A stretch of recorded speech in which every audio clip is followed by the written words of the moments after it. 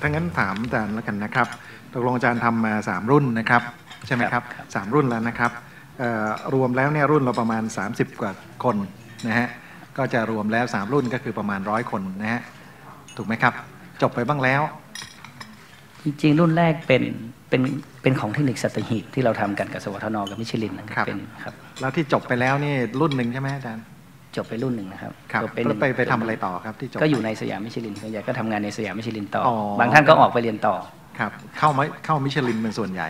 ครับอ๋อครับคือที่ทำงานนี่คือทำงานอยู่ร่วมกับบริษัทมิชลินครับใช่ไหมครับครับผมเออทำไมมาทำอันเนี้ยฮะโรงเรียนในโรงงานเนี่ย สอนอยู่ปกติมันไม่ไม่สบายกว่าเลยฮะจริง ๆ ก็สบายกว่าไหม ถ้าเราเป็นเป็นนักศึกษาเราแล้วเป็นอาจารย์ หรือว่าเป็นผู้ที่ค้นเรียนรู้ตลอดนะฮะก็ยอมรับว่าในวิชาชีพวิศวกรรมพูดกันตรงๆ ว่าในมหาวิทยาลัยมันก็ไม่ต่างกับวิทยาศาสตร์ทุกวันเนี่ยเพราะว่ารัฐะไม่สามารถจะลงทุนเขาเทียบโรงงานเป็นโรงพยาบาลเนี่ยรัฐะไม่สามารถจะลงทุนแลบหรือว่าห้องปฏิบัติการทางวิศวกรรมได้อย่างกับแพทย์ ถ้าเมื่อไหร่อาจารย์วิศวกรรม หรือว่าอาจารย์ช่างเทคนิคไม่เข้าไปเรียนรู้กับ สิ่งที่อยู่ไฮเทคหรือว่าเทคโนโลยีสมัยใหม่ หรือกระบวนการบริหารใหม่ ๆ เราคงไม่มีทางที่จะสอนคนให้สามารถจะไปมีผลสร้าง productivity ให้ประเทศทำอันเนี้ยเพื่อเพื่อแก้ปัญหาอะไรยังไงหรือไม่ฮะหรือว่า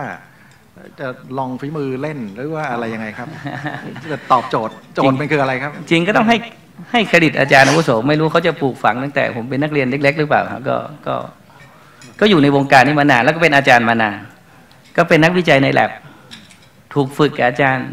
ที่ทำงานอยู่ระบบเนี้ยตลอดตั้งแต่เด็กนะครับจริงถามว่าถ้ากลับไปอยู่ทุกวันนี้ถามว่า เอาแค่การทำงานทุกวันที่อยู่ในมหาวิทยาลัย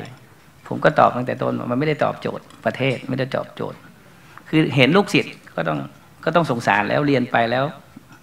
ไม่ได้ทำงานในสิ่งที่เขานิด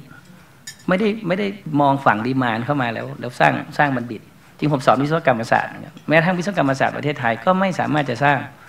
นวัตกรรม สร้างสินค้าให้ประเทศได้